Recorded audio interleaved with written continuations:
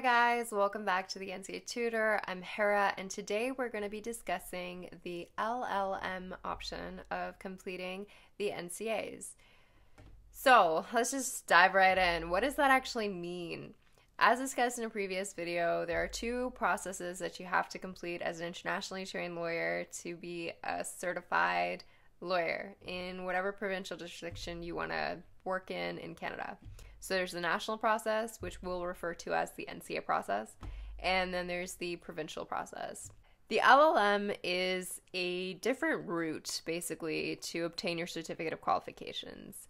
Um, as discussed in a previous video, you can do the NCA exams. Uh, some people might be required to do some courses. And then there's the LLM option. So, this LLM option does not mean that any LLM in Canada can qualify you to obtain your certificate of qualifications. No. There are two programs in Ontario that have the NCA Canada in mind and they're geared towards internationally trained lawyers.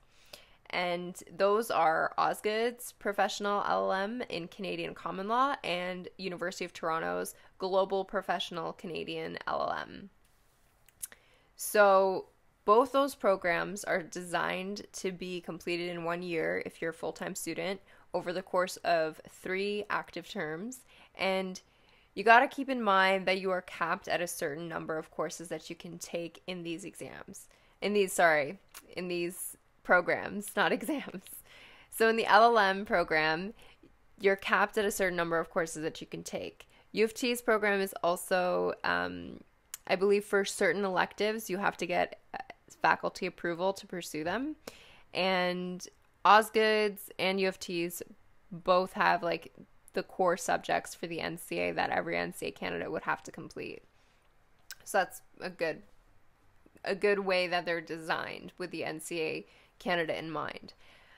With that being said, we strongly encourage that, you know, before you decide whether you want to do the LLM option or not, you should probably, you know, apply to the NCA first, get your assessment back, see what your assessment actually, you know, entails. Maybe you just have to take the five core courses, you know, and maybe you have to take 14 courses and the LM options capped, so perhaps it's not the best decision for you.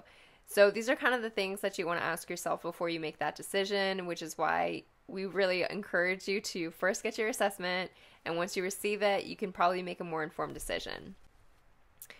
So in terms of costs, uh, the LLM option at Osgoode is around $22,000 for domestic candidates and around $43,000 for international candidates.